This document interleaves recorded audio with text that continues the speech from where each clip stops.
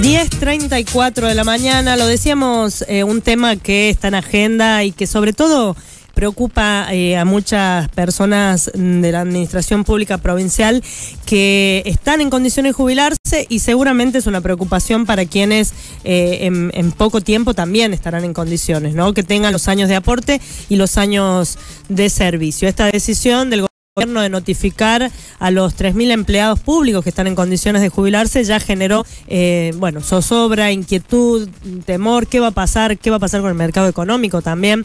Eh, para charlar sobre todo esto está en línea Nicolás Casa, que es coordinador de la carrera de Economía y docente de Estadística en las carreras de Ciencias Económicas de aquí del NAULAR. Nicolás, ¿cómo estás? Buen día, Antonio te saluda. ¿Qué tal? Buenos días eh, para vos, para tu equipo y para toda la audiencia. Gracias por atendernos, Nicolás. Decíamos, eh, bueno, eh, eh, hay un montón de preguntas que se abren a partir de ahora, ¿no? Sobre todo y principalmente, ¿cómo puede llegar a, influir en las personas que se van a jubilar eh, esta, esta decisión? Porque, bueno, eh, sabemos que hay un gran porcentaje que, que no es remunerativo dentro del recibo de sueldo y cuando se jubilen esto se va a notar y mucho, ¿no? No, sin duda. Eh, en primer lugar hay que destacar eso. Creo que queda una cuenta pendiente por parte de, del gobierno de la provincia ir eh, actualizando de alguna forma la parte que se cobra en blanco, porque esto repercute directa, directamente en lo que serían los aportes jubilatorios y naturalmente luego en los plus que se van a dar por antigüedad.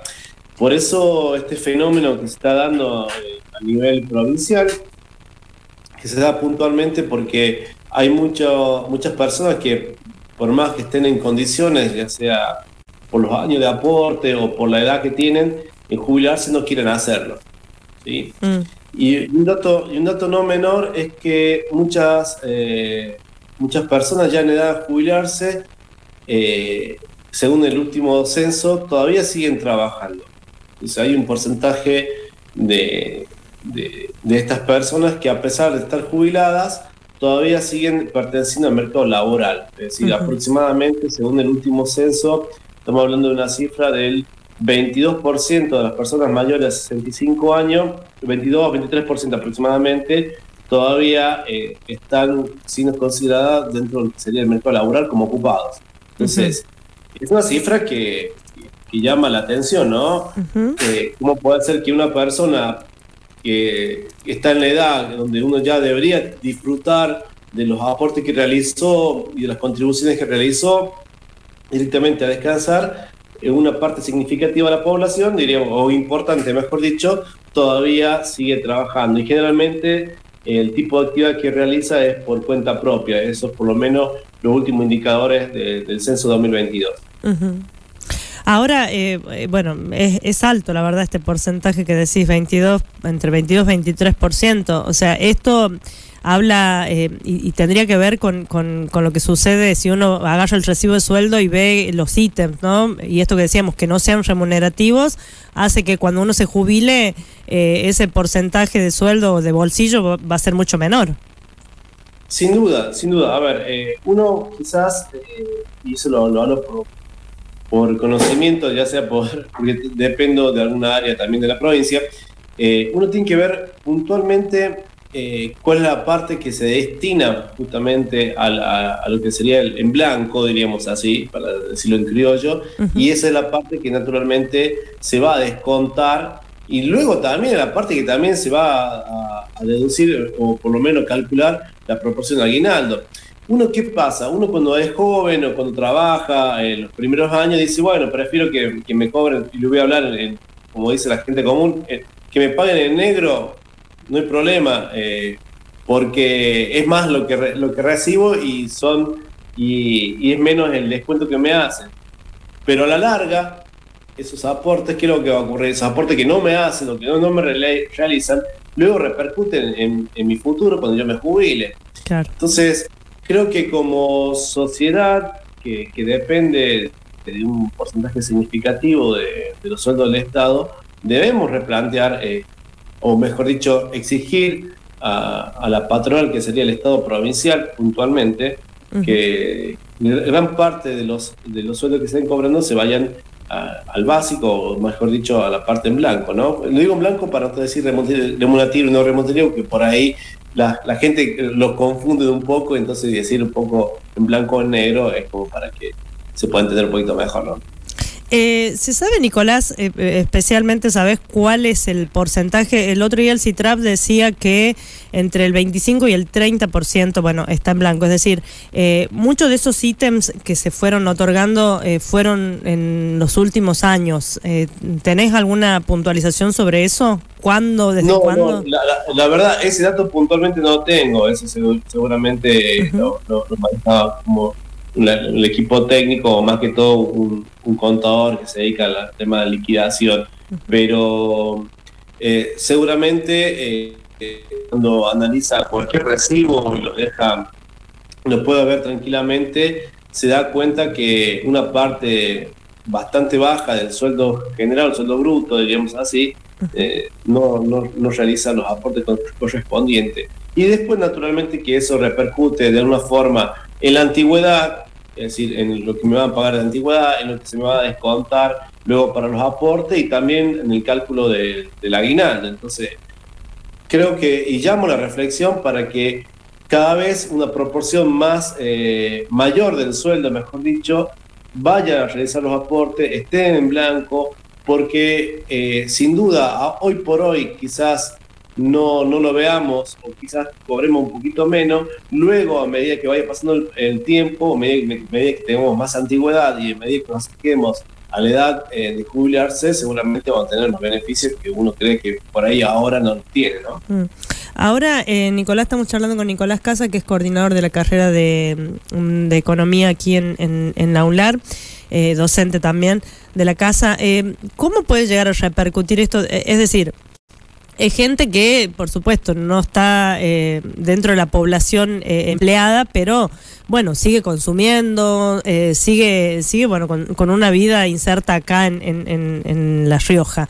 ¿Cómo puede afectar eso al mercado laboral o al consumo, mejor dicho? Sí, eso por un parte es que muchas de las personas, y y vuelvo a repetir la, cifra, eh, un 23% de las personas mayores de 65 años se vuelcan nuevamente al mercado laboral.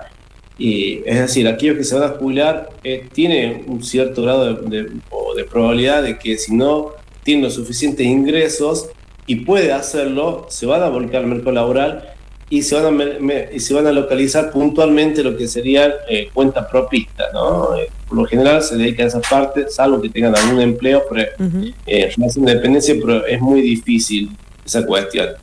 Eh, eso por un lado. En segundo término, naturalmente, no es lo mismo lo que ganó estando activo trabajando que cuando ya pasó a ser pasivo. Entonces el ingreso es mucho menor, naturalmente los gastos son otros, eh, seguramente esto repercutirá naturalmente en lo que tiene que ver en el consumo de las personas ya, eh, ya pasivas o ya jubiladas. Y eh, hay que ver qué es lo que ocurre luego o qué hace el Estado provincial con, esta, con estos cargos vacantes, si los cubre o no los cubre. Es probable que quizás no estén cubiertos y esto pasará a una reducción del gasto público. O puede ser que recategorice a otros empleados o tome más empleados de lo que de lo que podría tener en, un inicio, ¿no? Entonces, mm.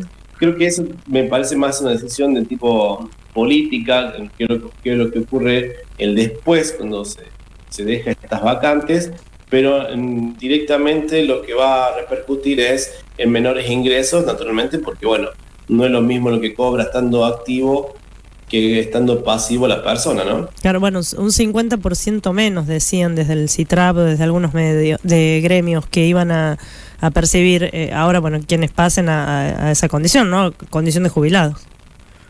No, no, sin duda. Imagínate que, que tenés, eh, voy a darte una cifra X, mil, dos mil, bueno, lo que sea. No, no es por, por achicar el valor, sino cualquier, cualquier valor que vos quieras y tiene un ingreso menos. Imagínate eh, que para la economía de una determinada zona tener tantos pasivos cuyos ingresos son menores, naturalmente que los gastos van a ser menores y esto repercute también en la actividad económica. Ahora, vuelvo a repetir, hay que ver qué, qué hace el gobierno provincial con esas vacantes. ¿Lo va a cubrir? ¿No lo va a cubrir? ¿Va a recategorizar? Eso también implica también ingreso o no para la economía. Eso ya, se, ya como te dije, es una, una cuestión netamente política o de decisión política, nada que, más que todo. Claro. Bueno, Nicolás Casas, coordinador de la carrera de Economía, gracias por ayudarnos a hacer este análisis. Bueno, veremos, sin duda ya hay una intimación, de hecho el gobierno dijo que también se van a abrir sumario a las personas que no eh, inicien el trámite, o sea que, eh, bueno, es una decisión por lo pronto del gobierno provincial de avanzar con, con, esta decisión. No, sin duda. Me parece que, que, que hay que preguntarnos algo y creo que para todos, ¿no?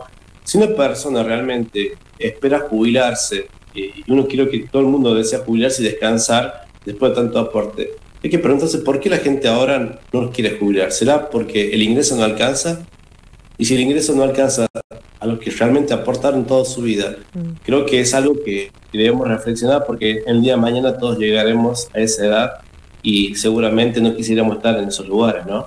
Sí, seguramente. Y teniendo que buscar un trabajo nuevamente para afrontar lo que, bueno, lo que queda, eh, los años que vienen. Gracias, Nicolás. Por favor.